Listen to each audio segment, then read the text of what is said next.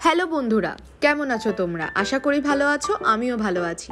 আজকে আরেকটা ব্লগ নিয়ে চলে এসেছি, শ্রীরামপুর পরিক্রমার।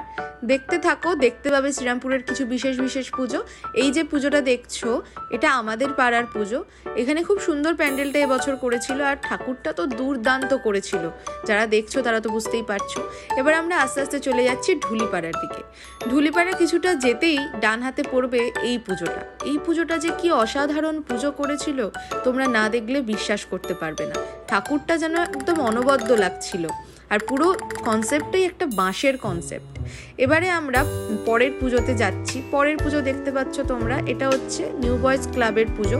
নিউ বয়েজ ক্লাব যারা শ্রীরামপুরে থাকো, তারা চেনো আশা করি। আর যারা থাকো না, তারা একটু জিজ্ঞেস করে নিলেই কিংবা ম্যাপে দিলেই পেয়ে যাবে নিউ বয়েজ ক্লাব এইখানে কনসেপ্টটা ছিল প্লাস্টিক বর্জন করার কনসেপ্ট প্লাস্টিককে আমরা যেরকমভাবে ইউজ করি, একবার ইউজ করে ফেলে দিই, এইটা যে কতটা মারাত্মক সবার জন্য, এটাই এখানে বোঝানো হয়েছিল। আর বলা হয়েছিল যে যাতে সবাই পেপার আর শালপাতা আগের মতো করে ব্যবহার করতে পারে। এখানে ঠাকুরটাও পেপারের উপরেই হয়েছিল, চালচিত্রটাও পেপারের উপর হয়েছিল। নেক্সট আমরা চলে এসেছি মাদাম বাগানের পুজোয়। একটা বড় পুকুর, তার পাশেই মাদাম বাগানের পুজো হয়। এখানে পুরো প্যান্ডেলটাই করেছে উনুন আর হাঁড়ির উপর। ভিতরটা পুরোটাই কাঁচা মাটির উপর দিয়ে করার চেষ্টা করেছে আর খুব সুন্দরভাবে ফুটিয়ে তুলেছে আগেকার দিনের গ্রাম্য পরিবেশ। যেখানে মায়েরা মাথায় কলসি নিয়ে জল, কাঁকে কলসি নিয়ে জল, এই যে ব্যাপারটা, এটা পুরোটাই তুলে ধরেছে এখানে। পুরোটা দেখতে পাচ্ছ তোমরা?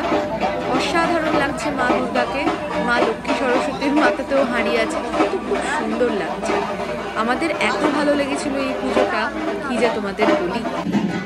এরপরে আমরা চলে এসেছিলাম ওই পুজোটারই সামনে দিয়ে বেরোনোর পথে বেরোনোর পথে কিছু কিছু বার্তা ওনারা দেওয়ার চেষ্টা করেছেন যে, যারা ভারতীয়, তারা সবাই দুর্গাপুজোটা যেমন সেলিব্রেট করে, সেটা হিন্দু, ধর্ম, সব ধর্ম নির্বিশেষে এই পুজোটাকে সেলিব্রেট করা হয়। এখন আমরা চলে এসেছি কালীতলা। শ্রীরামপুরে যারা থাকো, আগেই বললাম, কালীতলার মন্দির সবাই চেনো। এটা আসলে মা কালীর মন্দির, এখানে মা দুর্গা পুজো হয়। এই মা কালী মন্দির কিন্তু অনেক অনেক বছর পুরনো মন্দির প্রচণ্ড জাগ্রত। এখানে যে মালসাগুলো দেখছ, মেবি অষ্টমীর ভোগের জন্য। এরপর আমরা হাঁটছি। এই দেখো, এই ধরনের যে লাইটগুলো এগুলোকে আগে আমরা মশারি লাইট বলতাম। আর এই লাইটগুলো যে এত সুন্দর, খুব সুন্দর ফটো ওঠে কিন্তু। এবার আমরা হাঁটতে হাঁটতে চলে এসেছি আটের পল্লীতে। এই যে আটের পল্লীর ঠাকুর, এটা কিন্তু খুব সুন্দর ঠাকুর হয়। মানে ওরা প্রত্যেক বছর এত সুন্দর একটা কনসেপ্ট ফুটিয়ে তোলে। এবারে যে কনসেপ্টটা ছিল, সেটা ছিল ফিলোসফিক্যাল কোনো কনসেপ্ট যেখানে পদ্মের মধ্যে মা দুর্গাকে রাখা হয়েছে আর নারী আর পুরুষকে সমানভাবে দেখানো হয়েছে। দেখতে পাচ্ছ, সব অসুরের উপরে মা মানে সব অসুরের উপর মেয়ে। তো তারপরে আমরা বেরিয়ে চলে এলাম এই ঠাকুরের কাছে। এটা হচ্ছে ঠিক তিন বাজারে ঢোকার মুখে ঠাকুর আছে। ওইখানেরকার ঠাকুর। আর এখানকার ঠাকুর তো অসাধারণ ছিল। এরপর আমরা যাচ্ছি টিন বাজার থেকে একটু এগিয়ে। টিন বাজার থেকে একটু এগিয়ে গিয়েই দেখলাম যে একটা অসাধারণ প্যান্ডেল।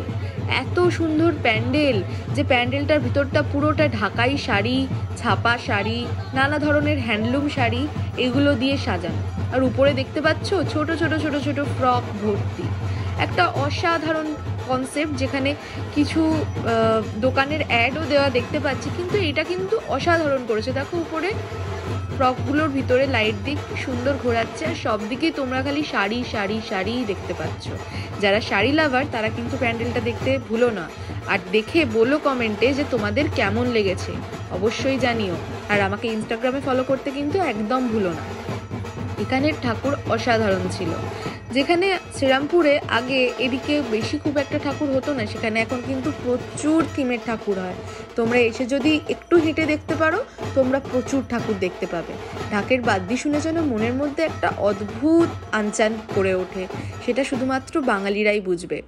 এরপর আমরা চলে এসেছি তার পাশেই একটি ঠাকুর ছিল, ঠাকুরের হয়েছিল, ওখানে চলে এসেছি। এখানে সবাইকে শ্রদ্ধাঞ্জলি দেওয়া হয়েছে। যারা মারা গেছেন এই কিছু বছর, দু বছরের মধ্যে তাদেরকে এখানে শ্রদ্ধাঞ্জলি দেওয়া হয়েছে। তার মধ্যে আমাদের শ্রদ্ধেয় লতা মঙ্গেশকরজি আছেন, সুশান্ত সিং রাজপুত আছেন এবং আরও অনেক গায়িকা, অনেক ধরনের শিল্পী আছেন। এখানকার ঠাকুরও খুব সুন্দর হয়েছিল। আর এখানকার ঠাকুর দেখে ঢাকের আওয়াজ শুনে মনটা যেন বড্ড পুজো পুজো করছে। সত্যি মনে হচ্ছে যেন দু বছর বাদে সবাই জেগে উঠেছে। এরপর আমরা চলে এসেছিলাম একটা হীরক জয়ন্তী বর্ষর পুজোতে যেখানে লাইট তো করেছিল অসাধারণ। প্যান্ডেলটা মাঝখানে হওয়াতে যে কটা দিক থেকে তারা গলি পেয়েছে প্রত্যেকটা গলিতেই এরকম এরকম ভাবে বড় বড় লাইট দিয়ে সাজিয়েছে। সেটা এই দিক থেকেও হোক আর ওদিক থেকে হোক। এক্সিট আর এন্ট্রি দুটো দিক থেকেই কিন্তু তারা ভালো ভালো লাইট দিয়ে সাজিয়েছে। আর প্রত্যেকটা লাইট কিন্তু মুভেবল এখানে হীরক জয়ন্তী বর্ষ ছিল, তো এনারা একটি রথ করার চেষ্টা করেছেন। খুবই সুন্দর ছিল। প্যান্ডেলটাও যতটা না সুন্দর ছিল, তার থেকে বেশি সুন্দর ছিল লাইটিং আর মা দুর্গা। এই দেখো, এখানে যে দেখতে পাচ্ছ, এই মাঝখানে শিবটা এটা ওঠানামা করছিল। আমি যখন ভিডিও তুলেছিলাম তখন করছিল না, কিন্তু করছিল। এরপর আমরা চলে এসেছি নিউ গেট ক্লাবে নিউ গেট ক্লাবের পুজো, প্রচুর পুরনো পুজো। যারা শ্রীরামপুরে থাকো তারা তো জানবেই। এবার আমরা চলে এসেছি মা তারা, অর্থাৎ তারাপীঠের মন্দিরে। আসল তারাপীঠ নয় কিন্তু কিন্তু পুরোই তারাপীঠের মতো দেখতে। এইটা করেছিল ঠিক দে স্ট্রিটে মোর শপিং মলটা আছে, ঠিক সেটা ক্রস করে গেলেই তোমরা এই ঠাকুর প্রতিমাটা দেখতে পাবে। এরপর আমরা চলে এসেছি ঠিক আমাদের পাড়ার পাশে। এখানে করেছিল জমের দুয়ার। এখানে পাঁচ বছর ধরে পুজো হচ্ছে, কিন্তু ওনাদের কনসেপ্টটা দেখে বেশ ভালোই লাগল যে জমের দুয়ার কেমন হয় সেটার এক্সপিরিয়েন্স করার জন্য যে কেউ এই প্যান্ডেলটাতে যেতে পারে। এর ভিতরে ছিল মা দুর্গা। মা দুর্গা খুব সুন্দর দেখতে ছিল। আর ছিল দণ্ড, কি কি পাপ করলে কি হয়, কি কি পুণ্য করলে কি হয়, জম কীভাবে সাজা দেয়, এইটাকে তুলে ধরার চেষ্টা করেছিল। সব মিলে খুবই ভালো কেটেছিল আজকের দিনটি। এর পরের ভিডিও আবার আসছে। তোমরা অবশ্যই আমার ভিডিওটাকে সাপোর্ট করো সাবস্ক্রাইব করো আমার চ্যানেলকে আর লাইক করে দিও আর বন্ধুদের সাথে শেয়ার করে দিও। আর যারা বাড়িতে থাকে তাদের দেখতে পারেন না তারা, তাদের সাথেও